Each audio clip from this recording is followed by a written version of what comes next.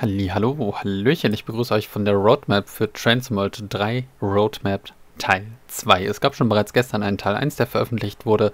Den habe ich jetzt mal ausgelassen, weil da in diesem Sinne nur mehr oder weniger das drin stand, was wir schon seit der Bekanntmachung von TSV 3 wussten. In dieser Roadmap allerdings steht noch ein bisschen mehr, noch ein bisschen interessantes und vor allen Dingen es gibt ein paar sehr, sehr schöne Screenshots, die wir uns angucken werden. Der Link zu der Roadmap ist in der Videobeschreibung. So, dann fangen wir mal an. Was wird es für Features geben, die wir uns heute dann genauer angucken werden?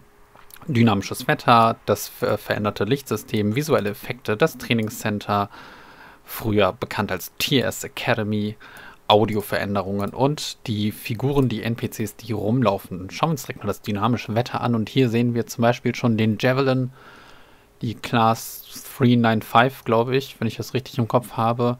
Wir sehen hier, guckt euch mal diese Spiegelung an, die finde ich ganz äh, besonders schön. Ähm, wir hatten zwar schon Spiegelung vorher, aber so in diesem Sinne, äh, so wie es hier aussieht, auf diesem hohen Grad gab es sicherlich noch keine Spiegelung im TSW 2. Äh, das Ganze ist natürlich nur für TSW 3, nicht für TSW 2. Solche ähm, Veränderungen werden nicht auf TSW 2 zurückgeportet. Das geht nicht. Ähm, wir haben dynamisches Wetter, das bedeutet also, dass das Wetter veränd sich verändern wird im Laufe der Zeit.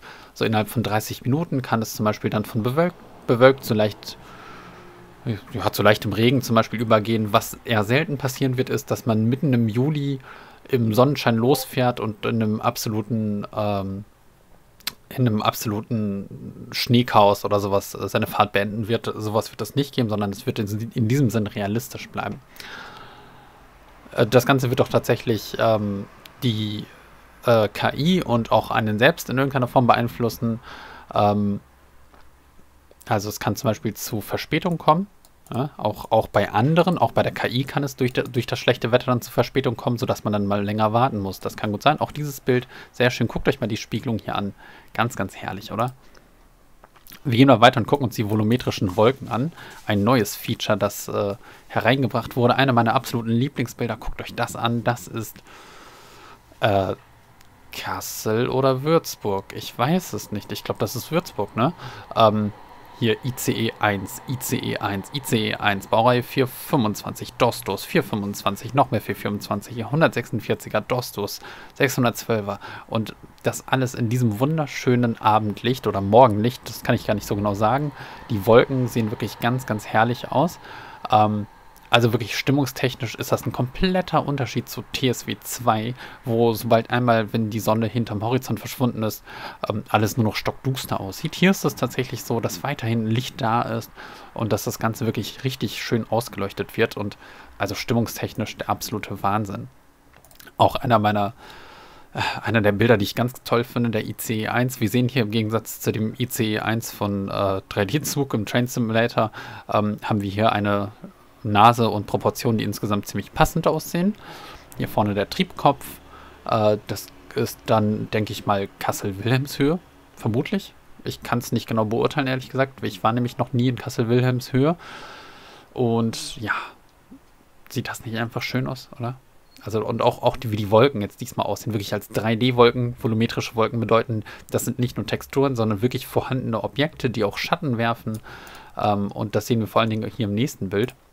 Wir sehen zum Beispiel, dieser Bereich hier ist mehr schattiert als hier vorne. Das liegt daran, dass hier über diesem Bereich irgendwo hier oben ein, eine Wolke ist und das Sonnenlicht da so ein bisschen noch abändert. Wir sehen auch hier die Texturen sehen mittlerweile etwas organischer aus.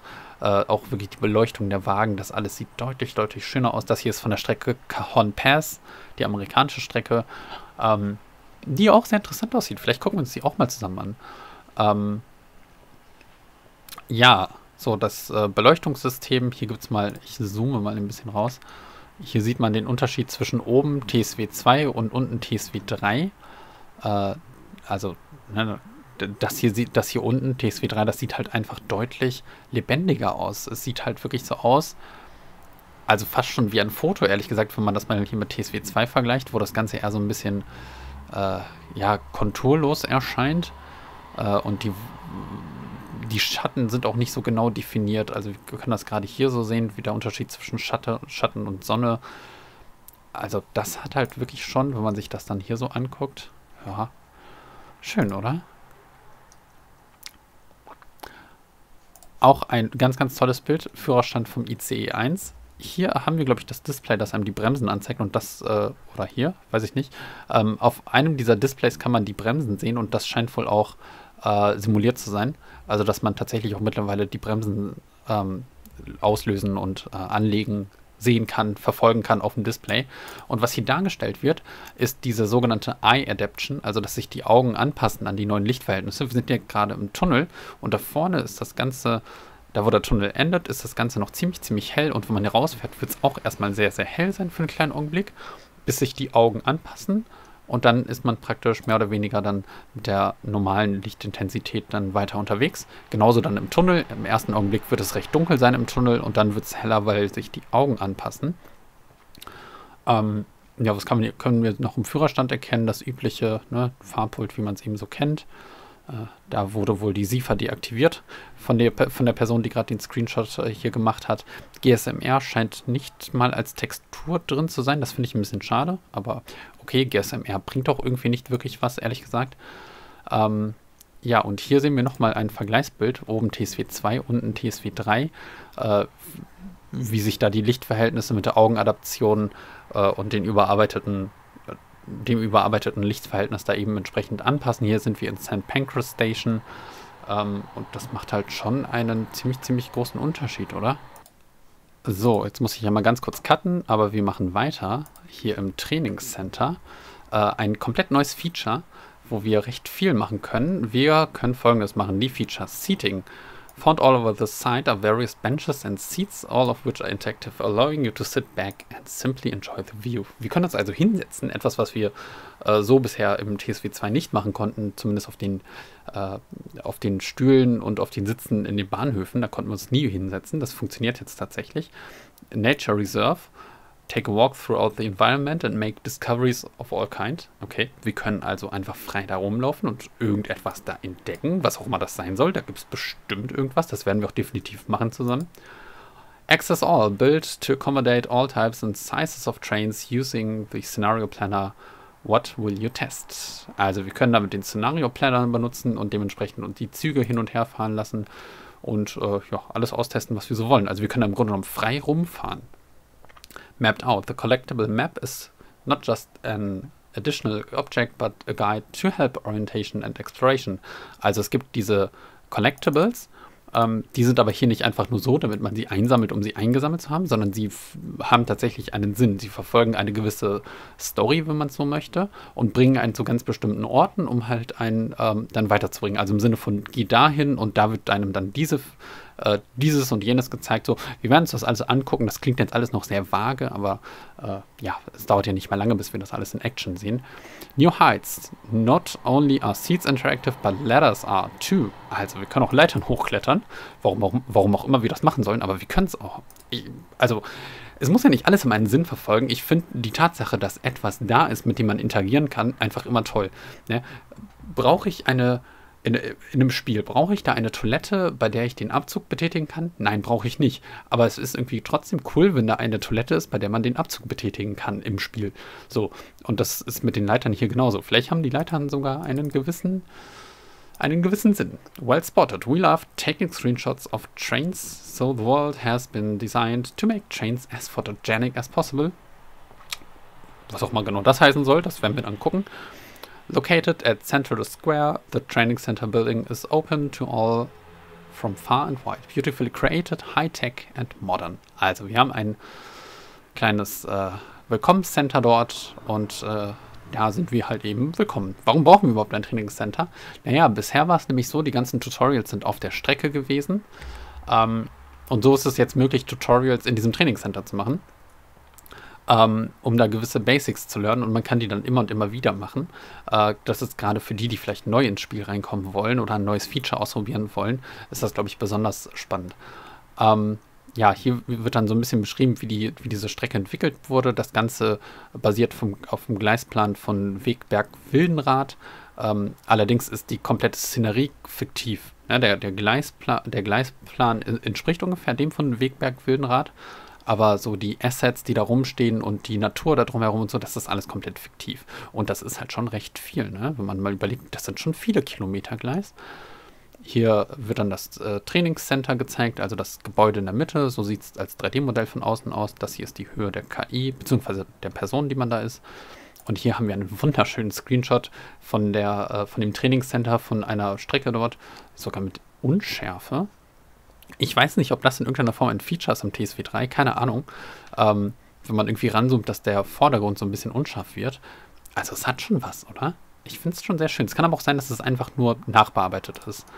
Auch hier wirklich ganz, ganz schöne Szenerie. Guckt euch das mal an, wie detailliert das ist. Sowas hat mir noch nie in so einer Detailtiefe.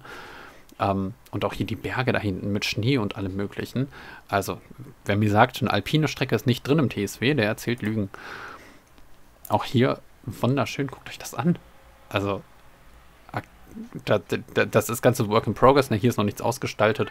Sieht man ja, äh, das ist schon ein etwas älterer Screenshot vermutlich, aber es sieht halt einfach schön aus, auch so mit den Wolken, die sich da in die Berge hinein äh, oder zwischen die Berge hinein bewegen. Auch wunderschön. Und hier noch ein Bild vom Trainingscenter, vom Eingang. Hier vom Innenbereich. So sieht das Trainingscenter von innen aus. Hier vorne eine Rezeption. Man kann hier hochlaufen, man kann hier langlaufen, man kann hier überall hinlaufen und seinen Spaß da haben. Und was haben wir hier noch? Hier haben wir ein Bild vom TGW. Ja, auch nicht schlecht, oder? Also von der Beleuchtung her auch wirklich schön. Und schaut mal an, die äh, Lichtstrahlen, äh, die Lampen vom TGW leuchten tatsächlich etwas aus. Wahnsinn. Hier noch ein Foto vom Trainingscenter vom Außen. Ja, das Gebäude da. Hier hinten ist das, sind die Depots. Ähm, hier sind die Lokomotiven aufgespannt, äh, angereiht. Hier ist die Class 66. Ähm, hier zum Beispiel ist noch 146. Da ist ein ICE. Und die stehen da alle und warten darauf, dass man sie fährt. Auch eine ganz interessante Information hier. Äh, bei Kassel-Würzburg ist ja der ICE 1 dabei und da hat Mike Golds dran gearbeitet, auch an der Audio. Das bedeutet also, Audio wird top sein beim ICE 1, so viel kann ich euch schon mal jetzt sagen. Ähm, hier wird so ein bisschen erklärt, wie so Audios äh, extrahiert werden und aufgenommen werden. Das ist ein bisschen, das kann sich, wer es interessiert, äh, kann sich das selbst durchlesen gerne. Ähm, ja, und was haben wir noch? Visual FX, Snow and Kick-Up Effects. Was wir hier einerseits sehen, sind hier, seht ihr, wie der Schnee hier praktisch hochgewirbelt wird von den Zügen. Das ist jetzt mittlerweile auch endlich drin im TSW. Gefällt mir sehr, hat sehr gefehlt, meiner Meinung nach. Und was wir auch haben, das sieht man hier ganz gut, wenn es länger schneit, dann stapelt sich der Schnee auf, sodass, ne, das ist die Ausgangssituation und dann haben wir hier praktisch den, der Schnee, der immer weiter hochschneit. Und auch das ganz, ganz toll. Auch die Figuren wurden im TSW 3 überarbeitet. Wir sehen, die sind deutlich detaillierter geworden. Ähm, die Frisuren sind anders geworden, auch detaillierter. Ähm, auch die Kleidungsauswahl hat sich verändert, sodass die Figuren insgesamt mehr Individualität zeigen. Jawohl, so viel dazu. Ähm, Wen es weiter interessiert, sich das alles in Tiefe durchzulesen, in, äh, in aller Detailtiefe, der kann das sehr gerne machen. Ähm, ja ich würde sagen, mit diesem Screenshot vom ICE 1 verabschiede ich mich. Alles Gute, alles Liebe.